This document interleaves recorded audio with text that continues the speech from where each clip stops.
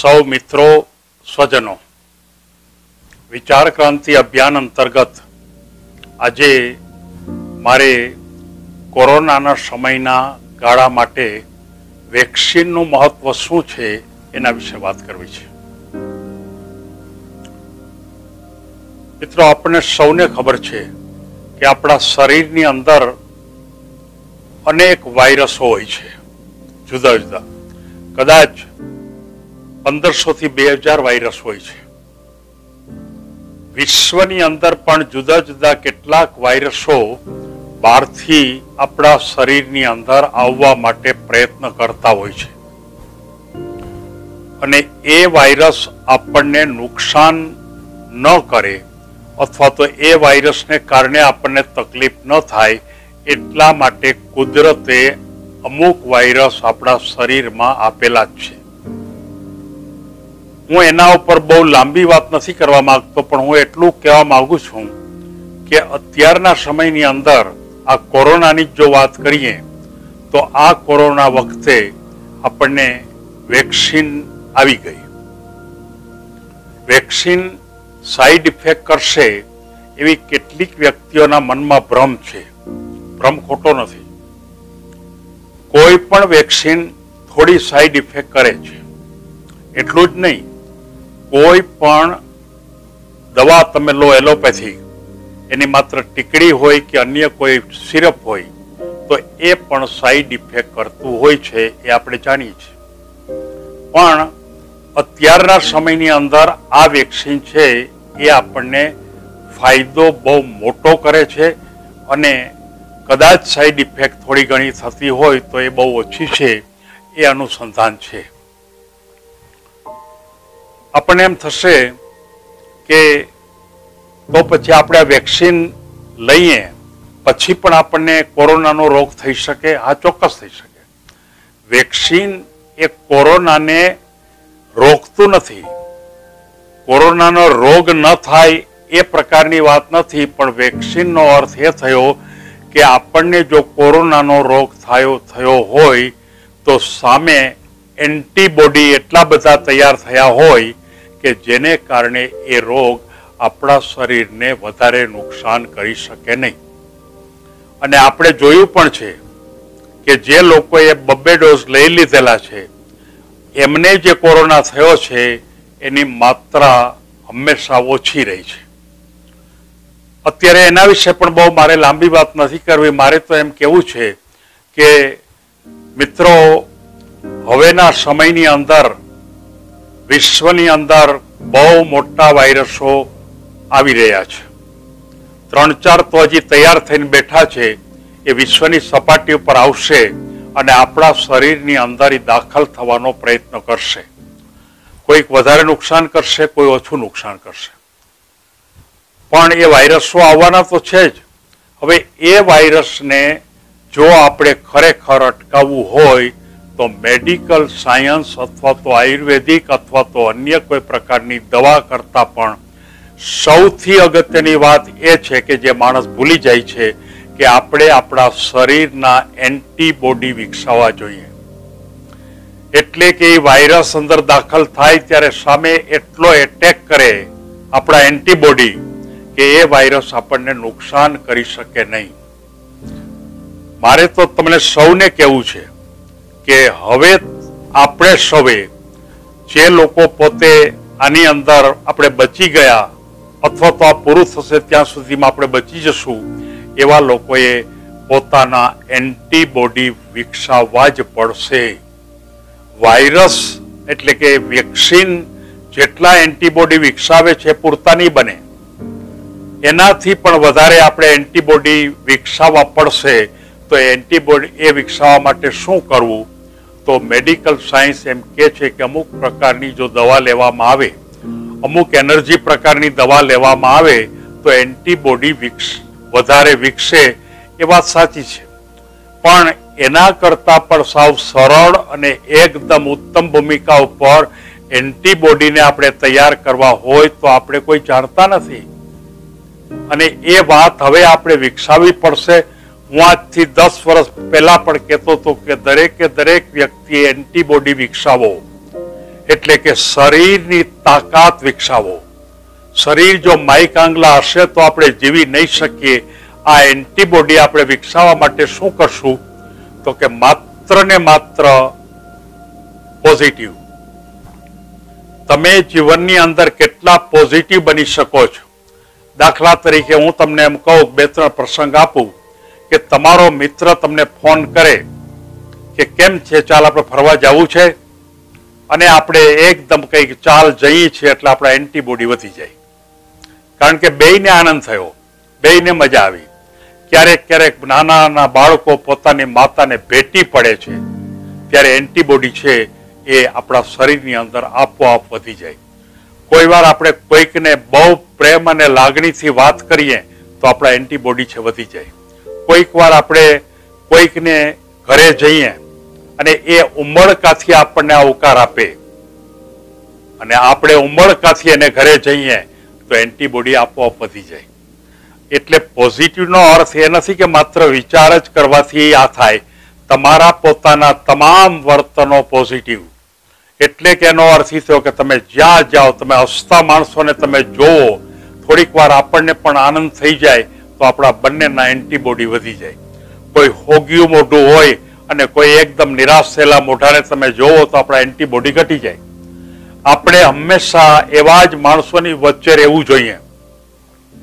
એવા જ વ્યક્તિઓની સાથે આપણે સંબંધો રાખવા જોઈએ કે જે હંમેશા આપણને ઉત્સાહ આપે, પ્રોત્સાહન આપે, આપણને ખૂબ આનંદમાં રાખે, ખૂબ મજા કરાવે, એકદમ આપણને સંતોષ આપે, જીવનની અંદર બહુ આપણે કોઈક વાર આપણને ખબર છે ને કે કોઈક આપણને ફોન કરે ને તો એ ફોન આપણે જ્યારે લઈએ ત્યારે આપણને બહુ મજા આવે. એ આપણને ઉત્સાહ આપી દે એવી વાત કરે, એવી વાત કરે કે આજ તો બહુ મજા આવી ગઈ, એટલે આપણા એન્ટીબોડી છે વધી જાય. કોઈક વ્યક્તિ છે આપણને ખબર છે કે એ વ્યક્તિ આપણી સાથે અડધી કલાક વાત કરે તો આપણા એટલા બધા આપણને આનંદ થઈ જાય કે જેનો એન્ટીબોડી છે એ બહુ વધતા થઈ જાય. આ પ્રકારની ભૂમિકા ઉપર હવે દરેકે દરેક માણસે રહેતા શીખવું પડશે. અને એ જો રહેતા આપણને આવડશે તો આપોઆપ નેગેટિવ બાબતો જશે. અને જો નેગેટિવ બાબતો જશે તો આપોઆપ તમારા વિચારો પોઝિટિવ થશે. આપોઆપ કારણ કે એન્ટીબોડી વધે એટલે આપણા વિચારો પોઝિટિવ થાય.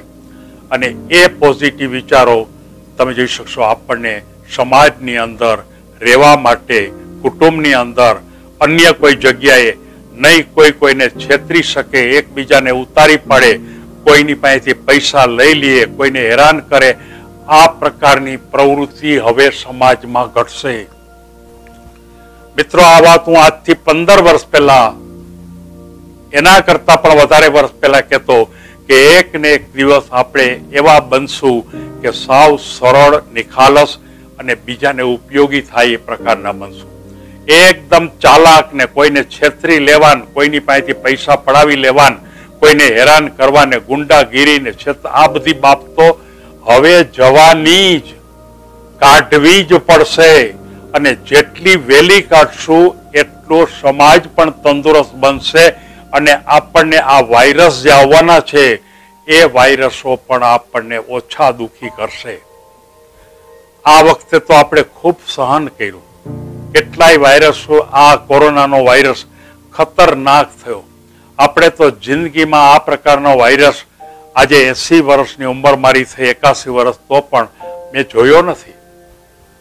આજથી લગભગ સો, દોઢસો વર્ષ પહેલા આવા વાયરસ આવેલા. આ વાયરસ પહેલી વાર નથી. અથવા તો આ પ્રકારનો વાયરસ પહેલી વાર નથી, પણ આપણે ભારતમાં આ પહેલી વાર છે. અમુક વખતે પ્રદેશમાં આવેલો, ત્યારે નુકસાન પણ થયેલું પણ મારે તો એમ કેવું છે કે હવે આપણે કોઈ દવા લઈને કે વારંવાર વેક્સિન લઈને અત્યારે તો વેક્સિન લેવી જ પડશે. કોઈ પણ વ્યક્તિ જેવો વિચાર કરતા હોય કે મારે વેક્સિન નથી લેવી, તમે જોઈ શકશો કે એ એને તો નુકસાન કરે જ છે, પણ સમાજમાં બીજા માણસને પણ નુકસાન કરે છે. જ્યારે સિત્તેર ટકા વ્યક્તિઓ ને કોરોના થઈ જાય અથવા તો વેક્સિન લઈ લેશે ત્યારે જ આ કોરોના જવાનો છે. ત્રીજી લહેર આવશે, સો ટકા આવશે. પણ કાઢવી હોય તો આપણા હાથમાં છે. કેવી રીતે કાઢી શકાય? ફરી એકવાર, એન્ટીબોડી વિકસાવો. એન્ટીબોડીની ભૂમિકા પણ આપણે તાકાત કે આપણામાં આ જે આ કોરોના છે, અંદર આવે ને, તરત જ ખલાસ. અંદરની બોડી એને ધક્કો મારે, બહાર કાઢી મૂકે અથવા તો મારી નાખે, જો કે જીવતા કણ તો નથી. પણ એક્ટિવ બને જ નહીં. આ પ્રકારે તમે જોઈ શકશો કે આપણે હવે સોસાયટીમાં સારા સારા યોગ ઉપર કામ કરવું પડશે, પ્રાણાયામ કરવો પડશે. કેટલાક માનો કે યોગ ઉપરના કેટલા પ્રયોગો આપણે કરવા પડશે અને કેટલાય અખાડાઓ ઊભા કરવા પડશે. આપણે આજથી ઘણા વર્ષો પહેલા અખાડામાં જતા હતા. આ બધી બાબતો હવે આવશે. અને એ કર્યા સિવાય છૂટકો જ નથી. જેટલી વહેલી સમજ આપણને આવે, આજથી જ શરૂ કરો.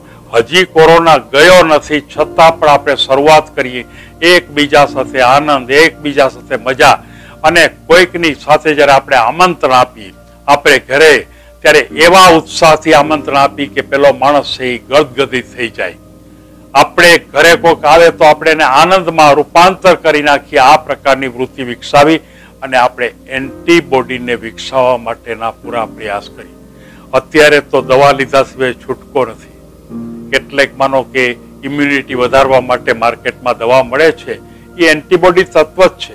પણ જાતે ઊભી કરો, કસરત કરો, પ્રાણાયામ કરો, દોડો. બીજા પ્રકારની માનો કે અન્ય પ્રકારના સૂર્ય નમસ્કાર કરો, નાના બાળકોથી શરૂઆત કરો.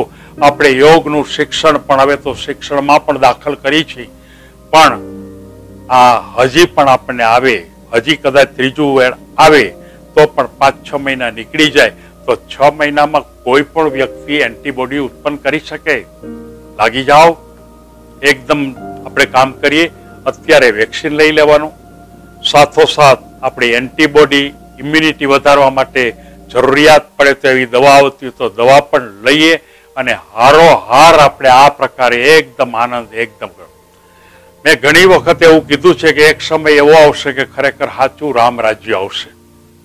અને એ રામ રાજ્ય હું જ્યારે કહેતો હતો ત્યારે એનો અર્થ એ થયો કે દરેક દરેક માણસ એકદમ પોઝિટિવ બેઝ ઉપર. એટલા બધા એન્ટીબોડી વિકસાવશે કે કોઈ કોઈનું ખરાબ નહીં કરે, કોઈ કોઈને તકલીફમાં નહીં પડે, ગુંડાગીરી ખતમ થશે. આ એકબીજાનું જે છેતરે છે, કોઈને ઉતારી પાડે છે અથવા તો કોઈની પાસેથી પૈસા લઈ લે છે, આ પ્રકારની ભૂમિકા હવે સમાજમાં બનવાની નથી. આ કોરોના જે આવ્યો ને એનું ફળ હું બતાવું છું.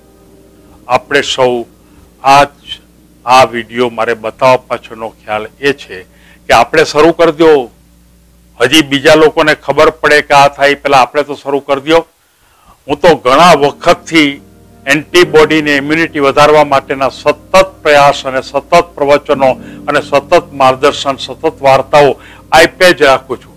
પણ વ્યક્તિઓને સમજતા વાર લાગે છે. પણ હવે આપણે સમજીએ અને એ રીતે આપણે આગળ જઈશું. આજનો આ વીડિયો માત્ર આજના આ કોરોનાના સમયની અંદર જે લોકો ખૂબ હેરાન થયા છે, ખૂબ તકલીફમાં મૂક- મુકાણા છે એણે એટલી બધી તકલીફ ભોગવી છે કે આપણે પોતે આપણને એમ થાય કે આ કુદરતે એને શું કર્યું હશે કે આવું એને સજા થાય છે. એના કુટુંબ વેરણ છેરણ થઈ ગયા.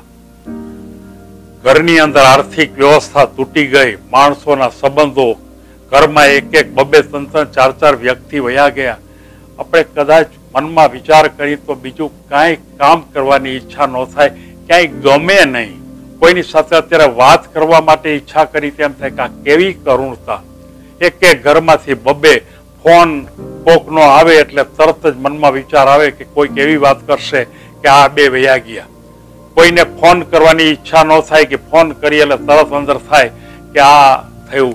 એટલે ખરેખર તો મને છેલ્લા ઘણા વખતથી ગમતું પણ નથી. મેં અમુક મારા વીડિયો ઉતારવાનું, ઓછું કરવાનું પણ કારણ એ છે. પણ એની સાથોસાથ ઇમ્યુનિટી વધારવો અને આપણે આ રીતે આપણી જે અંદરની તાકાત છે એ વધારવા માટેનો પ્રયત્ન કરશું. ફરી એકવાર આજનો આ વીડિયો આપણે સૌ એક જુદા જ એંગલ ઉપર વિજ્ઞાન અને સાયકોલોજીના બેઝ ઉપર આ વિડીયોને જોશું અને આપણે તાકાતવાળો થશું. ધન્યવાદ.